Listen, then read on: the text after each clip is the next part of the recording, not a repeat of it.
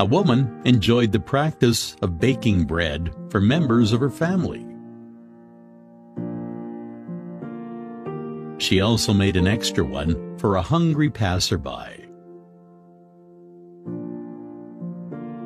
She kept the extra bread on the windowsill for whosoever would take it away.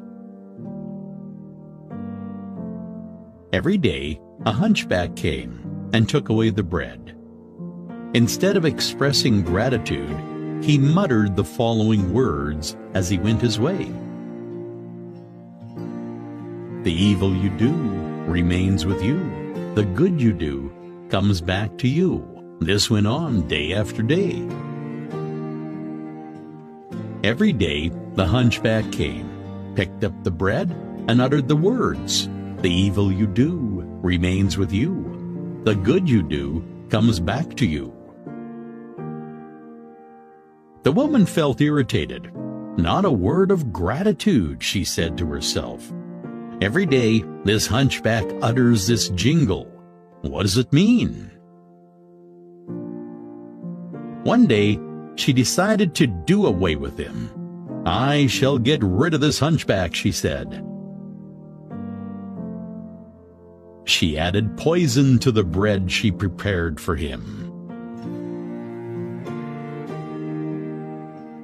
However, as she was about to place the loaf on the windowsill, her hands trembled. What is this I'm doing? she said to herself. Immediately, she threw the bread into the fire, prepared another one, and placed it on the windowsill.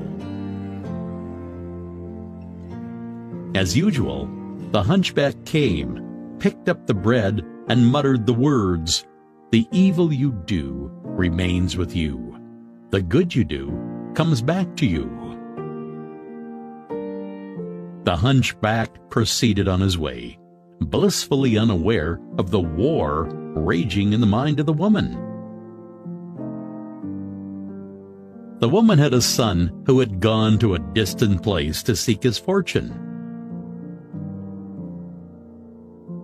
For many months, she had no news of him, and she prayed fervently for his safe return. That evening, there was a knock on the door. As she opened it, she was surprised to find her son standing in the doorway. He had grown thin and lean. His garments were tattered and torn. Then you'll get the full story. He was hungry, starved, and